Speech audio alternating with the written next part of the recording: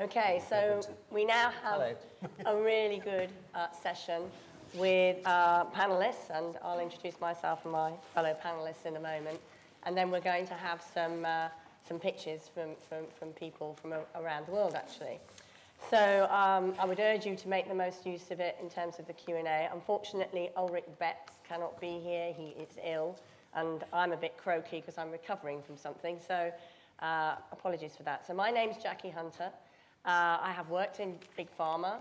Uh, I'm, I'm, running both research and development activities. I spent three years uh, running an open innovation consultancy and uh, trying to spin assets out of pharma, and we could touch on some of the learnings from that uh, at some point.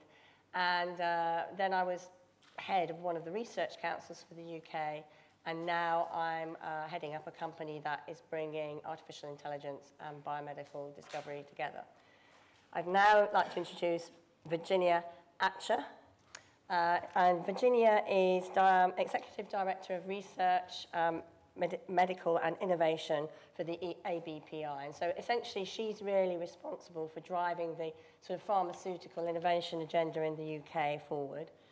Prior to that, she was at Amgen, and uh, where she was director in the Global Regulatory and Policy Division, looking after Africa, Europe, and um, the Middle East. Uh, she is chair of the Pharmacovigilance uh, Working Group for the International um, Federation of Pharmaceutical Manufacturer Associations. She's been on other important committees. Formerly, she was with Pfizer for five years, and then in her academic life, uh, she had positions at Imperial, at the Science Policy Unit at Sussex, and at the London Business School, and she is visiting researcher in innovation and entrepreneurship at Imperial's um, business school.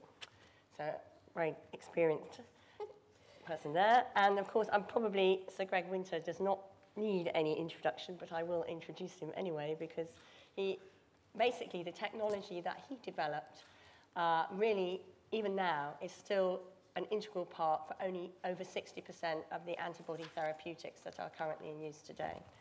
Uh, and in recognition of his um, fantastic contribution, he received the MRC Millennium Medal in 2013, which is only given to those people who have really accomplished significant social, economic, or health achievements.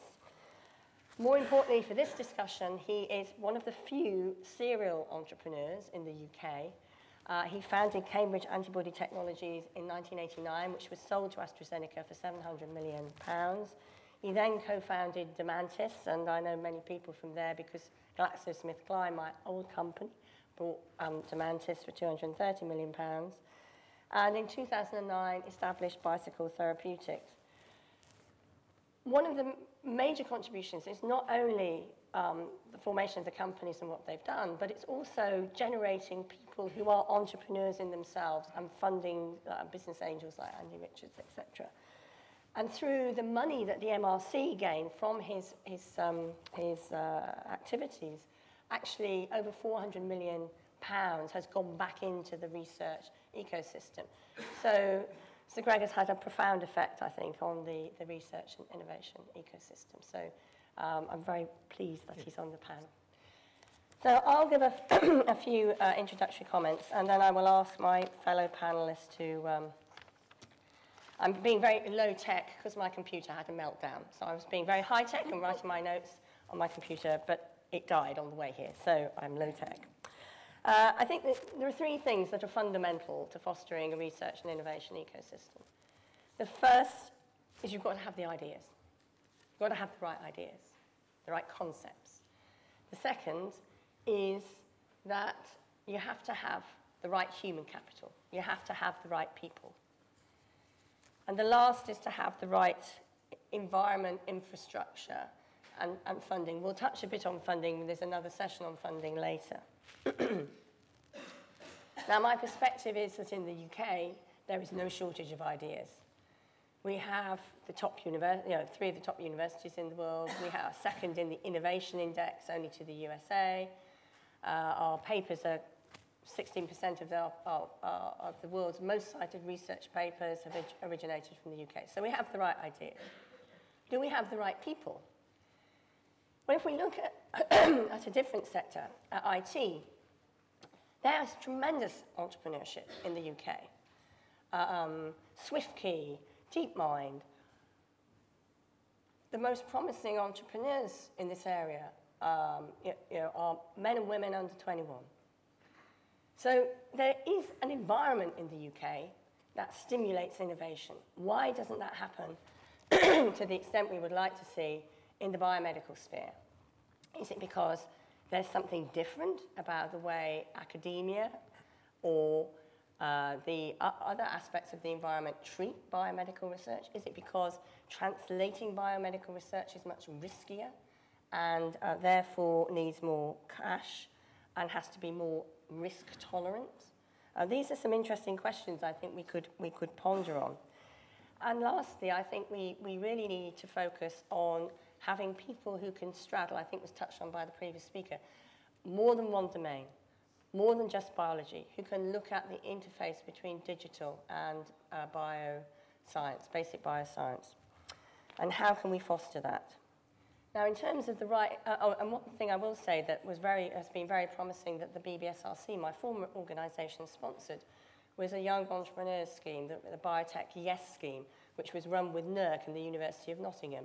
And that really kind of has, is a competition across the country for teams to come together to formulate a business plan for a theoretical product, although many of them were so exciting I wish they were real, uh, and culminates in a final uh, which is held in London at the end of the year. And that competition is actually open at the moment.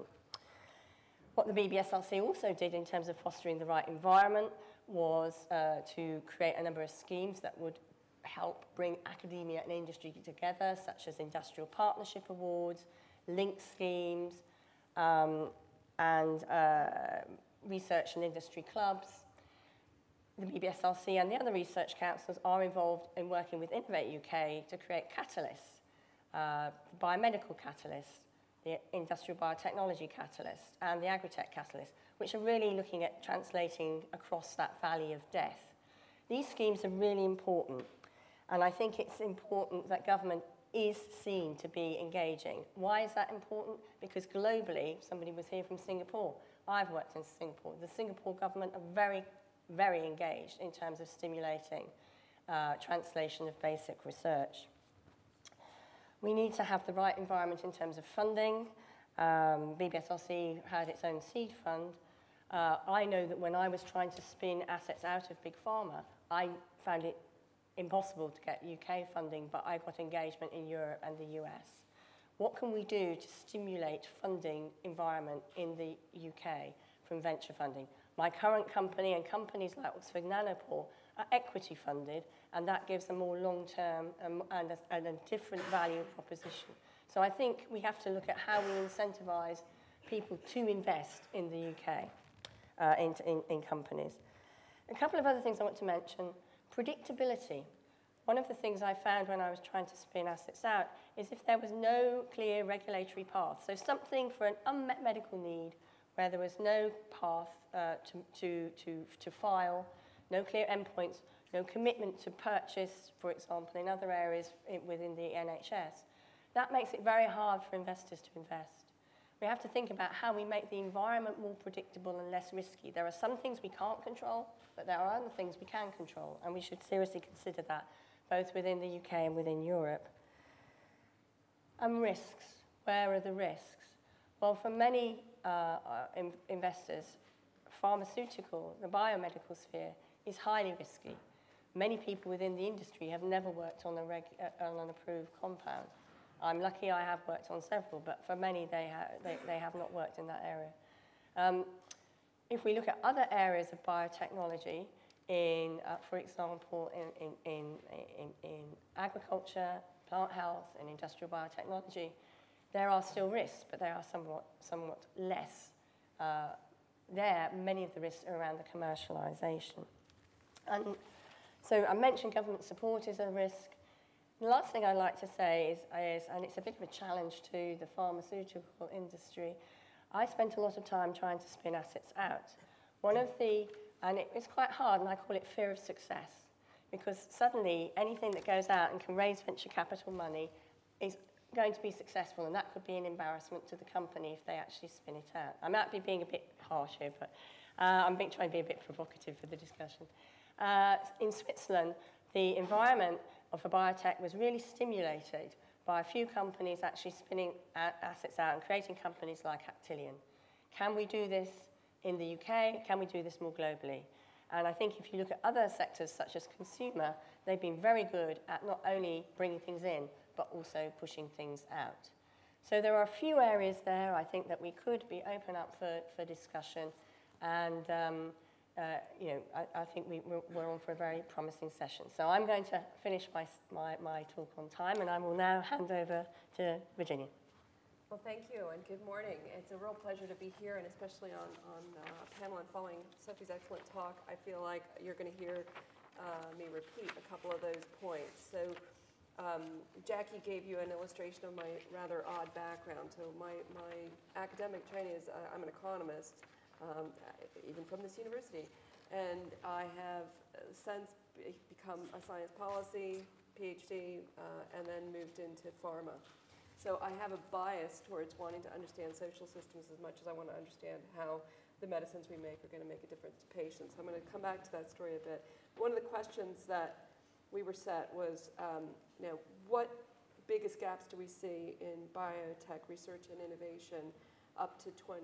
Uh, I don't think that's a crazy length of time. I think, um, if anything, what Sophie's uh, slide showed you with the pattern of change is that it's usually a lot longer than we want it to be.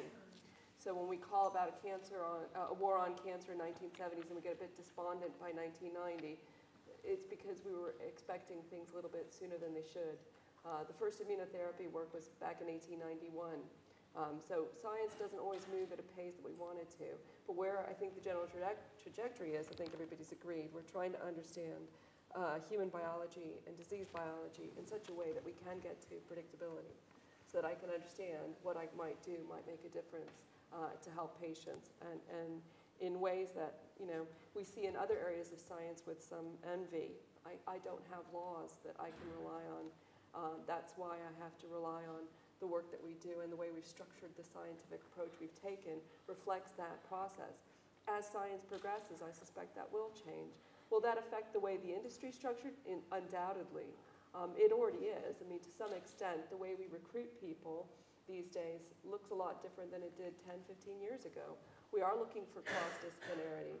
We are looking for people with multiple skill sets. Um, bioinformatics isn't just even a single skill set in itself now. People are looking for combinations of what else do you have with that. Uh, and it's because we know that that's, that convergence is where that innovation is really going to be exciting. Um, the question I have is, is that going to happen here in the UK? I take a deep personal interest in it because uh, it, it's partially on my head to make sure that the UK um, gets the most out of our industry and vice versa uh, in terms of advancing the science. And that's something that um, has been a question for many, uh, many since I started pharma. Um, they've always been saying, you know, the, the R&D model is broken, uh, the drug discovery model is broken. Well, I, I, have a problem with that conversation because of, of, several points. So broken, what do we mean by broken? Um, what we probably mean is, is it fit for purpose or is it fit to the environment or the scientific opportunity that we have? There's no doubt that's been changing. It's been evolving. And it's maybe hopeful uh, at present that it's looking like it's having some uh, impact. I think last year in the FDA count, we were at a high water mark of 45 uh, new molecular entities, uh, BLAs approved. Of those, 21 were for rare disease and 17, or sorry, 16 were first in class uh, the famous first-in-class uh, initiatives. Also, critically, uh, about 27 of those were done through expedited measures, so through breakthrough therapies, through um, accelerated access, something of that sort. So it's also telling us not only companies are changing the way they do the models, the regulators are also trying to be responsive to what the science will allow. So things are definitely changing. The question will be, um, you know, what long-term progress that will really achieve. It's not just about how many uh, new molecular entities you, you approve. It's whether it makes a difference for a patient or do people live longer. Does, does this make any real impact in terms of final outcomes in, in healthcare? Um, and that's obviously something that, you know, not just the regulators are interested, but the HTA bodies are interested, health technology uh, authorities that are, are, assessing these different uh, uh, molecules as they go through. I also have a problem with that phrase, um, R&D models are broken, that it assumes there's one. There isn't ever one. Um, I have um, looked at many sectors, many industries. There's, there's never a, a, single approach. In fact, that's usually the competitive advantage of a company. It's the way it's framed, how it's going to do its technology search. A lot of that has to do with the history of the company, um, how the company leadership moves, but it's also uh, probably reflective of the environment in which they have been most active, and that may be choice of therapy area in our, in our world of medicines, and it may be also the environments in which they found. Um, my, my team um, at ABPI make fun of me because I don't like the word ecosystem. I refuse to use it if I can avoid it because it makes it sound too much like things will happen. If you get the initial conditions or the supporting conditions right, everything happens. I think that ignores people far too much. Um, so there's something about understanding how people make choices and where they find um, their partners as they go forward, and certainly partnering, as you've heard from Sophie, is the way most companies uh, are going these days. Um, I think, interestingly, it's grown even from the time I started. So in 2009, the industry average was probably about a third of R&D was already used on outside spend. Uh, working with partners, that's now up to about 41, 42 percent. Um, and it depends. So big companies, less so. Mid-sized pharma, probably more so. Um, so it depends on the type of company, depends on how they work. But critically, it probably depends on how they choose to partner and how they find you. So one of the questions I have for the UK is, um, we have, as Jackie's well described, some of the best research in the world, no doubt. Uh, some of the highest cited, some exciting research. And yet I'm looking at three years of decline in R&D in my sector in the UK. So our R&D funding has declined from a high water mark of, in 2010 of roughly about 30% of all industrial R&D in the UK to now about 20%. Now, if that was happening worldwide, maybe it's an industry R&D model is broken story, but it's not. Uh, the increase in, in international funding for R&D for pharma is increasing.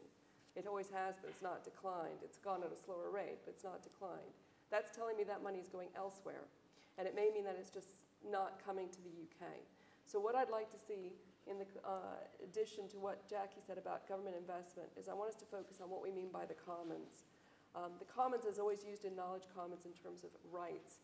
What it ignores is that in that same theory is about an understanding of relationships and engagement. And one thing I think that we really need to work on in the UK is exactly what Sophie described. More events where we bring together our scientists so that they can work together and that we create opportunities for people to go back and forth between academia and industry and much more flexibility. I think that would be the single best thing we could do. So thank you. Thank you. Greg. Yeah, okay. So um, I got asked two questions. Um, the first question was about the academic perspective, the importance of the academic contribution uh, of research and innovation in biotech. And of course, I speak as an academic, so inevitably I'm biased, and that doesn't mean to say that there aren't contributions from others. As I'll try to show the academic uh, is particularly important. So if we look at the history of modern biotech, um, I would say it's been heavily based on three technological advances. DNA sequencing, genetic engineering, and mouse hybridomas. We could choose other options, but I think those, in my view, would be the biggest, and I'm willing to argue the case. Now, those technologies were originally developed in academia and mainly for academic purposes, but they also fueled the biotech revolution. Now, DNA sequencing led to the Human Genome Project and to methods for identifying the genes associated with disease processes from large cohorts of patients. Where did it come from? I guess it came from uh, the fact that DNA had a structure with complementary bases, and there was a genetic code that was solved, and therefore it did seem important if one wants to understand the secret of life, you need to be able to read that, uh, that, uh, uh the DNA sequence. And that was the reason that Fred Sanger started that work.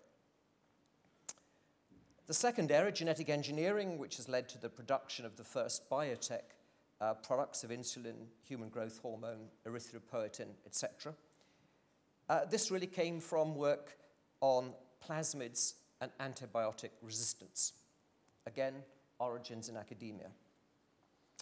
If you look at mouse hybridoma technology, which led to the creation of precision antibody reagents for diagnostics and also for research, and most especially for identifying the proteins associated with disease processes, where did that came, come from? It came from Cesar Milstein wanting to understand the nature of somatic mutation and having uh, hybridomas at particular points, or ha having, let's say, pure clones at a particular point of the immune response. Now, each of those primary technologies generated its own biotech industry. Um, it wasn't the intention of the original scientists to do that, but it did. And that ranged from DNA sequencing machines to pregnancy testing kits and to novel therapeutics, um, of which I've mentioned the recombinant insulin and growth hormone, etc. Now, what's quite interesting is although the application of each of these, what I'll call primary technologies, was in, had important and direct applications, I think their application in combination has also been dramatic. So, for example, the combination of mouse hybridoma technology and uh, uh, rapid DNA sequencing has provided systematic and complementary approaches for identifying disease targets. It's got two good methods for doing it, and in fact, for understanding the underlying pathology of disease. And likewise, the uh, contribution of mouse hybridoma technology and genetic engineering allow the creation of engineered human antibodies for treatment of cancer and autoimmune disease. Now, the availability of disease targets and human antibodies directed against them, in turn, triggered a revolution in the pharmaceutical industry, with antibodies now jostling with chemicals as blockbuster drugs. So it's this combination and recombination of discoveries and technologies is what innovation is about. The three primary technologies, DNA sequencing, genetic engineering, mouse hybridoma technologies, rose in academia, but were transferred to industry by publications in the scientific literature or by scientists with know-how moving from or between academia and industry. My own view is that I think academics probably paid, uh, played a, a critical role and possibly the major role in that for two reasons. First of all, they were there, they were involved in making the innovations and therefore got first look at it. And the second reason is that there is a greater culture of freedom among academics. So I think are freer to think and play than people in industry who have to get down to producing products and have clearly defined uh, processes. Um, so I think that's why you know, academics have a particularly unique uh, uh, role to play. Um, I asked a second question, which I will sort of partly answer, which is what are the biggest challenges facing academics in commercializing their research? I think it is reasonable to put the focus on academics um, rather than say, well, actually, uh, they shouldn't bother about it, they should let someone else pick it up and run with it. I mean, they might wish to do that, but I think it's worth asking the question what can we expect academics to do and what are the challenges they're going to face? And I think there are many challenges in commercializing research, and these range from showing the research is close to application, identifying the size and shape of the market, filing patents, uh, funding, all the way through to developing a coherent strategy for commercialization. And don't forget the challenges posed by academic transfer organizations, your own boss, uh, or counterparts in industry, or finding advisors or management with experience and quality to recognize and help commercialize an entirely new field that no one really knows about. Or indeed, you have to recognize that one challenge may be the developing of your own ability to inspire in others a vision of the promised land, which you have to have in front of you if you're going to uh, take it forward. Now, I, I encountered all of those challenges and, and more. So expect to be thrown lots of challenges. And the challenges pop up at different stages. And at the time, each has the potential to obstruct successful commercialization. So you just have to get over them. You have to bash your way through all of them. And um, generally, I've tried to use both momentum and kinetic energy, moving fast and on multiple fronts simultaneously, uh, with as much charm as I can muster in the circumstances, which is sometimes taken for rudeness. Um, and I guess it's possible to think of challenges uh, as a giant checklist which need to be ticked off sequentially. But in my own experience, I think if the vision is inspiring, if you have a clear idea of what it is you're going for and what it is that would excite people, if the science and the proof of concept are focused to that vision, and if the strategy for commercialization matches the vision, then notwithstanding all the other challenges, they've got a reasonable prospect of success. So I think those are the main ones one needs to um, hold on to as an academic. And my time is up. Thank you. Thank you. So, we heard some perspectives um, the importance of people, the importance of mobility, the importance of the commercial factors. Um, the floor is now open for questions from the audience.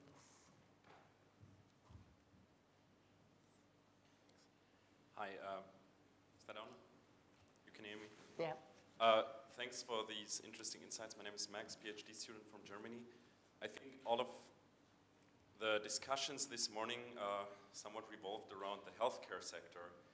When we look at the big picture, how is our life going to change with biotechnology in the decades to come? What other emerging fields, like maybe in, in the field of ecology or agriculture, do you think um, will come up and, and change the life by 2015? Well, I was very fortunate to um, run the, bio, the Biotechnology and Biological Sciences Research Council, where agriculture and industrial biotechnology sat very squarely in our shop.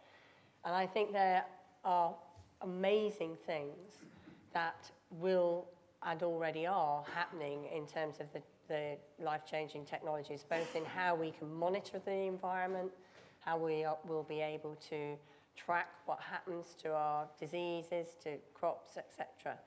But this is where the regulatory environment is also really important because um, the uh, issues around new technologies for causing genetic manipulations, whether it's inserting material or excising material, are fundamentally uh, underpinning many of the big advances that will happen in biotechnology uh, and, and we have to make sure that we have the appropriate regulatory systems to allow that to happen.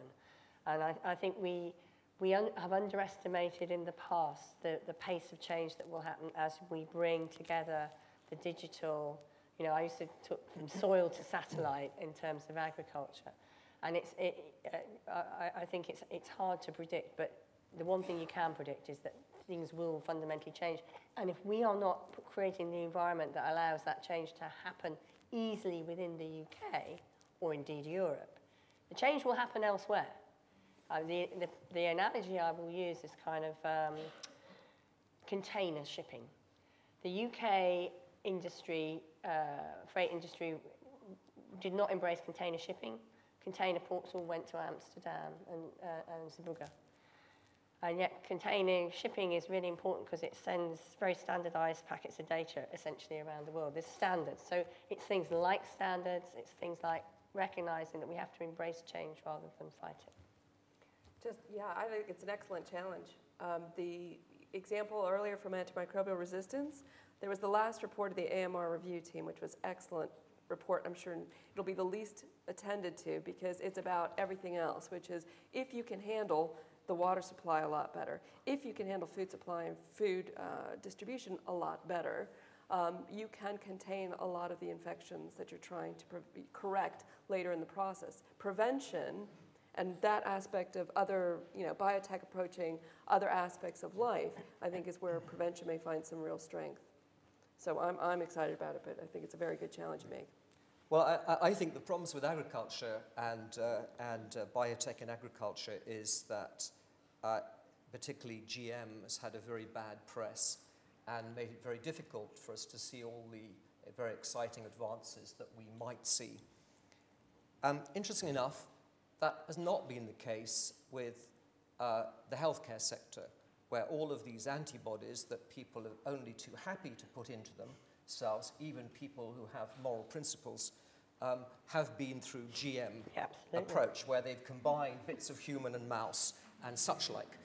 Now, I, I think part of the reason why that we see these two different sectors reflects that quite clearly if you think you are going to die otherwise, or you might want a few months longer, then you are willing to, to sacrifice your principles. It's as cynical as that. I think the other attitude, I think the other problem we have is this is a rich world, poor world problem. I think the money is in the, is in the developed world, and frankly, the developed world can always buy more food. It can actually uh, crop out part of Africa. It can do all those things. actually, in the developing world, which is where they really need to have the, uh, the novel crops and such like, which all of the possibilities that GM offers, um, they don't have so much money for their development. And I think um, this shows, this is actually unfortunately part of an asymmetry um, that is regrettable. And hopefully one day that will get solved. Right. Uh, another question? One.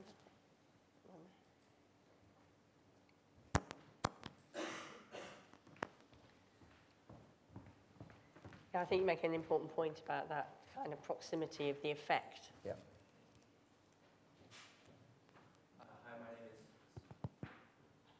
Hi, my name is Raphael. Uh, I work as a strategy consultant at Monitor Deloitte in London. My question is, can you name a specific instance of a public-private partnership, or with academia as well, that has been successful? And what you think it was that made this so unique and so successful?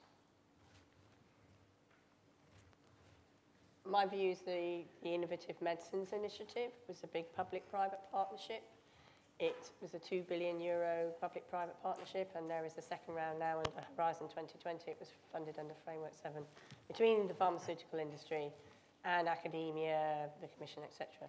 Why was it successful? It had very clear IP guidelines. People not only put money, companies had to put, their contribution was in kind, so it drove a different type of collaborative behaviour and it was focused, it caused people to be focused on problems that were of long-term interest to both the companies and the other participants. Yeah, and obviously that's the, the uh, big one that I'm sure most people would refer to in the UK. I think um, what's interesting to me is some of the work that's happened through Innovate UK. Uh, I think some of the work that they uh, progressed with around regenerative medicine has been uh, pretty fundamental in really underpinning uh, the, the strong uh, sector we have now developing in the UK.